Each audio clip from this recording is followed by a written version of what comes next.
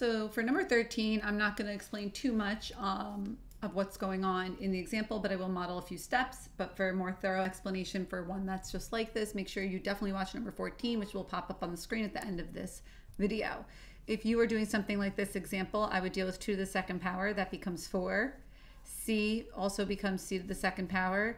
D to the fourth gets raised to the second, becomes that right there. And we still have C and D both being raised to the fifth.